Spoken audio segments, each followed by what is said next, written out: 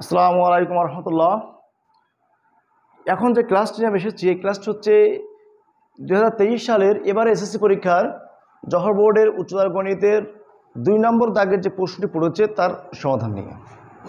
দেখো, দুই নম্বর সৃজনশীল প্রশ্নটি কী পড়েছে তোমরা অবশ্যই জানো বা না জানলেও দেখে নাও। যারা দু হাজার চব্বিশ সালে মানে আগামীতে পরীক্ষা দিবে, এসএসসি পরীক্ষা, তাদের জন্য কিন্তু এটাও একটা ভালো সুযোগ যে আসলে বোর্ড কোশ্চেন কেমন পড়ে বা আপডেট প্রশ্নগুলো কেমন হয়, তোমরা এখান থেকে দেখে নিতে পারছ। দেখো, উদ্যোগটা কিন্তু এই, এখানে ক বলেছে, খ, গ তিনটা প্রশ্ন। ক বলেছে, এই ধারাটির অসীম দাগ সমষ্টি নির্ণয় করো। খ বলেছে, দেখাও যে এটা এটা প্রমাণ করতে হবে। আর গ বলেছে লন ওয়াই মানে ই ভিত্তিক লন ইকুয়াল টু ওয়ান হলে এক্সের মান নির্ণয় করো।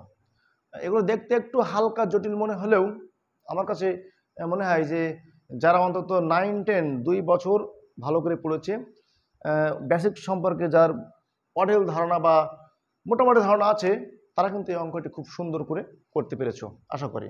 এবং যারা চব্বিশ সালে পরীক্ষা দিবা, তারা এটা ভালো করে পারবা।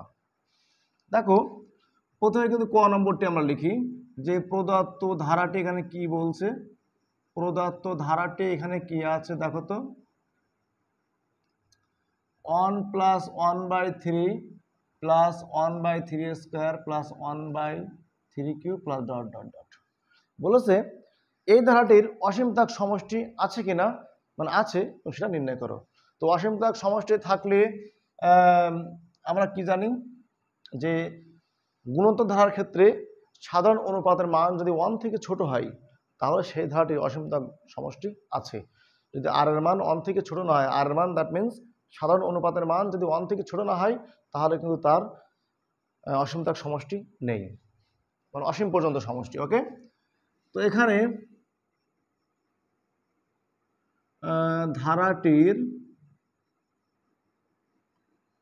প্রথম পদ এ ইকুয়াল টু ওয়ান এবং সাধারণ অনুপাত আর ইকুয়াল টু কি?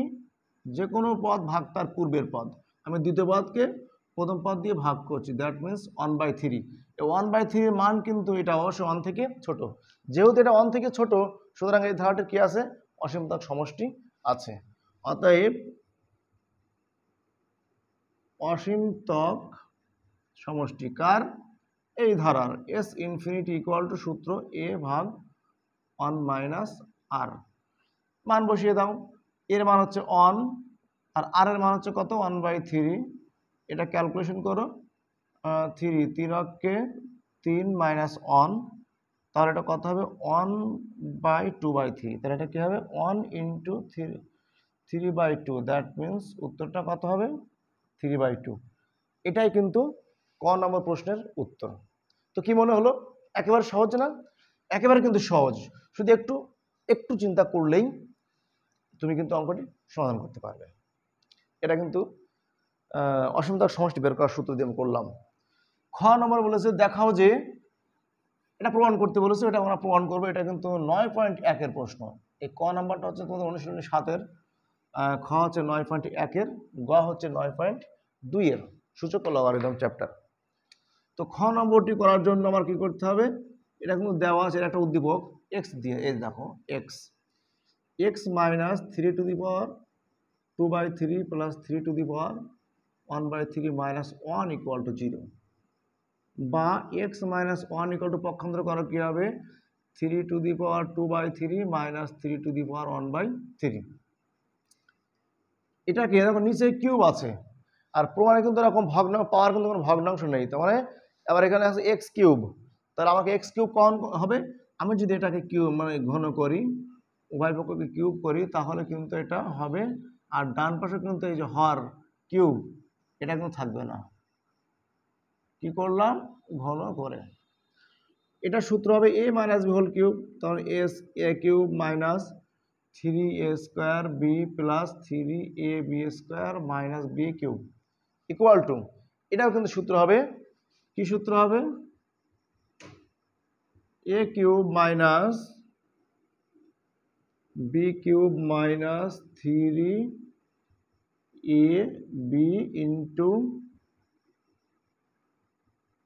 a minus b আমি বাম পাশের সূত্র করলাম, ডান পাশের সূত্র করলাম। এটা কিন্তু অবশ্য এটা সেম সূত্র, এটা কিন্তু একটা অনুসিদ্ধান্ত সূত্র পরেরটা।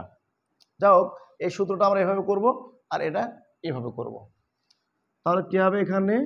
এখানে এক্স কিউব মাইনাস হবে three x square plus three x minus one. এটা ক্যালকুলেশন করলে কিন্তু এটা হয়। দেখো, এই থ্রি থ্রি কেটে যাচ্ছে, থাকছে three square. Minus three three কেটে যাচ্ছে, থাকবে কি থ্রি থ্রি ইন্টু, এটা গুণ আছে। গুণ থাকলে পাওয়ার কি হয় দেখো তো? গুণ থাকলে পাওয়ার কিন্তু যোগ হয়। তা two by three plus one by three. R into এটার মান আবার কি? এটার মান কিন্তু এক্স মাইনাস ওয়ান এই যে, এই লাইনে কিন্তু আছে, এটার মান এক্স মাইনাস ওয়ান তো x cube minus three x square plus three x minus one equal to zero three square মান নাইন মাইনাস থ্রি এটা লসাগু করলে কত হবে? লসাগু করলে কিন্তু থ্রি লসাগু করলে কি হবে? উপরে হবে থ্রি ভাগ থ্রি মানে ওয়ান দ্যাট মিনস এটা এক্স মাইনাস ওয়ান। অঙ্ক কিন্তু হয়ে গেছে, একেবারে শেষ প্রান্তে আমরা আছি। এটা যোগ বিয়োগ করলে কত হবে? সিক্স মাইনাস তিন তিরিকে নয় nine into x minus one বা x cube minus three x square plus three x minus one equal to nine গুণ করলে কি নাইন এক্স প্লাস নাইন বা x cube minus three x square plus three x minus one equal to, এটা কত হবে? পনেরো minus nine x. প্রমাণে কিন্তু সব বাম পাশে আছে। এই জন্য আমরাও কিন্তু সব কি করব? বাম পাশে পক্ষান্তর করব। পক্ষান্তর করলে চিহ্ন কি হয়? পরিবর্তন হয়। প্লাস ছিল মাইনাস মাইনাস ছিল প্লাস। ওকে। বা three x square plus three x plus nine x, that means twelve x. Minus one minus fifteen that means minus sixteen equal to zero আমাকে কিন্তু বলেছিল যে দেখাও যে আমরা কিন্তু কী করলাম?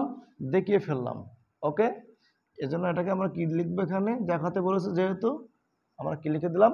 শর্ট ওকে একেবারে সহজ। একটু বুঝলেই, দেখো, এখানে কঠিন কিছু নেই, আমার মনে হয়, একেবারে সহজ একটা অঙ্ক। আচ্ছা। তো চলো এবার গ নাম্বারটা সলভ করি।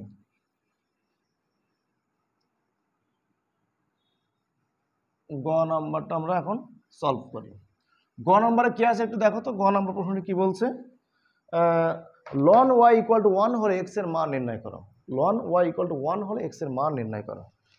তো আমরা এখানে লিখতে পারি, দেওয়া আছে ওয়াই এর মান কিন্তু দেওয়া আছে কি? থ্রি মাইনাস এক্স বাই হচ্ছে ফোর প্লাস এক্স আমার আরও দেওয়া আছে কি? Ln y equal to one তো এখন আমরা কি করতে পারি? এটা নিচেরটা নিতে পারি। এটাকে ln y equal to one বা আচ্ছা লন ওয়াই দ্যাট মিনস কি বলতো? এই লন ওয়াই মানে কিন্তু ঠিক এটা বোঝায় যে লগ ই ভিত্তিক ওয়াই ওকে? তাহলে এখানে কিন্তু বেস ই আছে তো এটা কিন্তু লগারিদম ফর্ম এটা কিন্তু সূচকীয় ফর্মে আমরা নিয়ে আসতে পারি। তাহলে কিন্তু বিষয়টা এরকম আসবে। তাই না? এটা লগারিদম ফর্ম সূচকীয় ফর্ম করলে কিন্তু বিষয়টা এরকম হবে। আচ্ছা মানে এর সেকেন্ড লাইন কিন্তু এটা, এর সেকেন্ড লাইন কিন্তু এটা, পরবর্তী লাইন এটা। বা y equal to e one দেওয়ার প্রয়োজন নেই। তো ওয়াইয়ের মানটা কত? এই যে three minus x by four plus x equal to e আমার কিন্তু এক্সের মান বের করতে বলছে। এখান থেকে এক্সের মান বের করব, তাহলে আর আরে গুণ করো। এটা গুণ করলে কত হবে? Four e plus e x equal to three minus x আমি এই লাইনটা গুণ করলাম কেন? এই লাইনটা গুণ করলে এক্স ছাড়াই কিন্তু প্লাস থাকছে, এই জন্য আমি এটা আগে গুণ করলাম। আর শুধু ওয়াই মানে কি? নিচে কিন্তু মনে মনে কত আছে? ওয়ান আছে। তো ইর সাথে এটা গুণ হবে, আর ওয়ানের সাথে এটা গুণ হলো? আচ্ছা ই এক্স এটা বাম পাশে প্লাস এক্স থাকছে থ্রি মাইনাস ফোর এখান থেকে আমি যদি কমন নেই এক্স থাকবে ই প্লাস অন তোমরা কি করতে পারি? বা x equal to three minus four e divided by e plus one হয়ে গেল। এই ছোট্ট অঙ্ক, এই এতটুকু অঙ্ক তোমাদের পরীক্ষায় কিন্তু দিয়েছে। খুবই সহজ এবং খুবই আনন্দদায়ক এবং মজার। এটাই আমার কিন্তু অ্যান্সার এক্সের মান বের করতে বলেছে আমি কিন্তু এক্সের মান বের করে দিলাম। তোমরা ওয়ানটা আগে লিখতে পারো ওয়ান প্লাস ই লিখতে পারো, কোনো সমস্যা নেই। অত আমার ঘোরানোর কোনো প্রয়োজন নেই। বেশি ঘোরাতে গেলে অঙ্ক কিন্তু ভুল হয়ে যাবে। আচ্ছা এটাই হচ্ছে আমার উত্তর। সো মাই স্টুডেন্টস অঙ্কটি কিন্তু খুবই সহজ। একটু বুঝলেই কিন্তু এর সমাধান খুব সুন্দরভাবে করা যায়। আশা করি তোমরা অঙ্কটি বুঝেছ ক্লাসটি বুঝেছ। তো যদি ক্লাসটা অবশ্যই বুঝে থাকো, আমার চ্যানেলটিকে সাবস্ক্রাইব করবে। আর তোমার বন্ধুদের মাঝে এটা ছড়িয়ে দিবে যে, না ইউটিউব চ্যানেলে কিন্তু এই যে কোশ্চেন, বোর্ড কোশ্চেনের ক্লাস আমি নেই। জেনারেল ম্যাথ, হায়ার ম্যাথের যে বোর্ড কোশ্চেনের পরীক্ষাগুলো হয়ে থাকে, সাধারণত এই তেইশ সালে যে পরীক্ষাগুলো হয়েছে, জেনারেল ম্যাথ বলো, হায়ার ম্যাথ বলো, আমি কিন্তু ক্লাস ধাপে ধাপে আপলোড করছি আমার চ্যানেলে। তোমরা ক্লাসগুলো দেখে নেবে। এবং এই ক্লাস দেখার ভিতরে যদি কোনো সমস্যা হয়ে থাকে, আমাকে অবশ্যই কমেন্টস করবে। ভালো থাকো, সুস্থ থাকো। আল্লাহ হাফেজ।